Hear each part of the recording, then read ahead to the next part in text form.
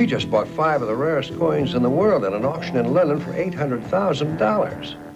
Don't move. It was broad daylight. You had to see something. I am not giving him the pictures. I hope the prison newspaper can use a good photographer.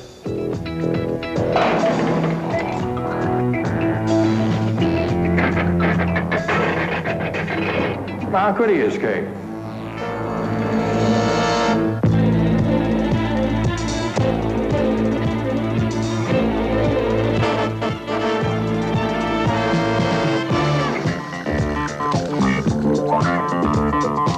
We'll be right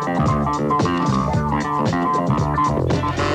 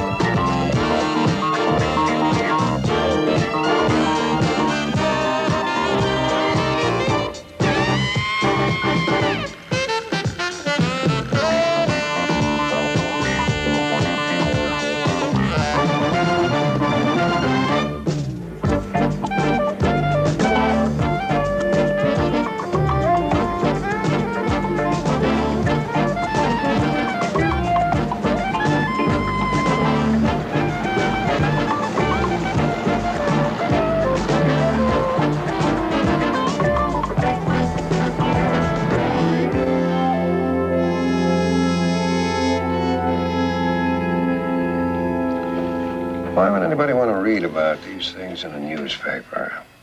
What's so so fascinating about old coins anyway? Well, not much to me, but maybe to a collector. Yeah.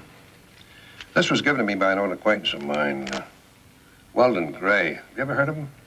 He's a rare coin dealer, right?